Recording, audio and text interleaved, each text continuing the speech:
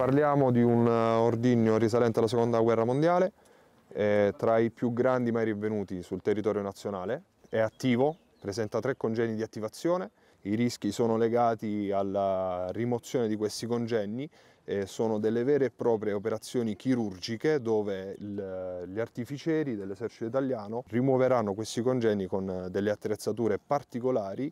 Abbiamo stimato circa 5 ore per l'intervento.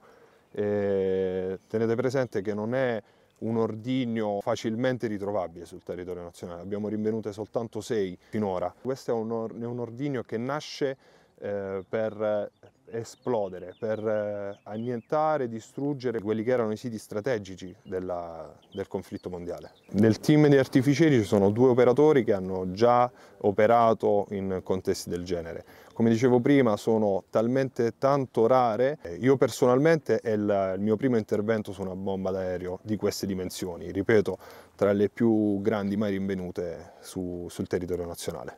Le attività si svilupperanno con una prima fase in cui verranno rimosse le spolette che sono i congegni di attivazione dell'ordigno, in questa bomba in pratica sono tre, e dopo aver rimosso questi congegni di attivazione la bomba verrà ehm, trasportata tramite un autocarro presso Monte Romano dove effettueremo un'operazione per mettere in sicurezza l'ordigno svuotando il caricamento esplosivo, sono circa 1300 kg di esplosivo.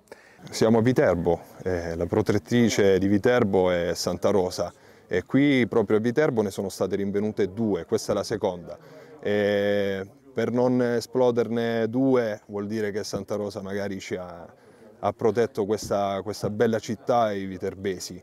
E diciamo che l'esplosione di questo ordigno oggi eh, non, non, non, conosceremmo Viterbo così come, come la vediamo. Okay? Sarebbe diverso se fosse esplosa, se fossero esplose.